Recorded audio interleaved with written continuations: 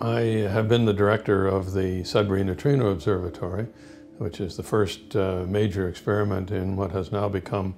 SNOLAB, uh, the uh, international underground facility near Sudbury, Ontario. The Sudbury Neutrino Observatory, or SNO, uh, used a thousand tons of heavy water to make measurements of neutrinos from the sun,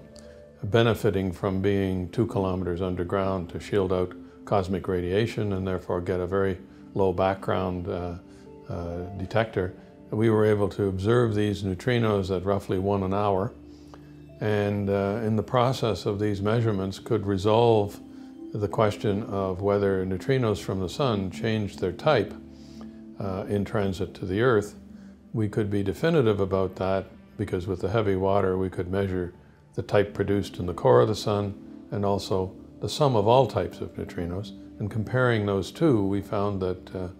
only about a third of the neutrinos reaching us were actually the electron neutrinos produced in the core. This meant that, uh, first of all, we, were, we had a clear indication that neutrinos change their flavor and therefore uh, have a finite mass.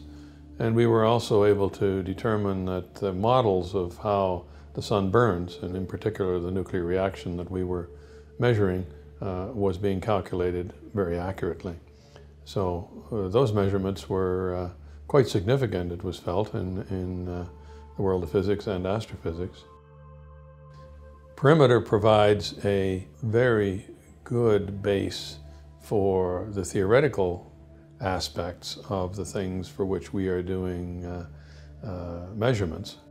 So it's, it's great for me and for others from our experimental groups across country, across Canada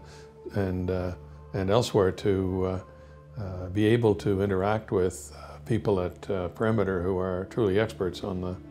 type of uh, questions that we're dealing with, particularly the dark matter question. So we look forward to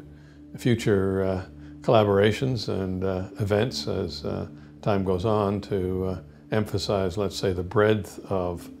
uh, expertise in this particular area of physics that exists here in Canada, both experimentally in our case and theoretically at Perimeter.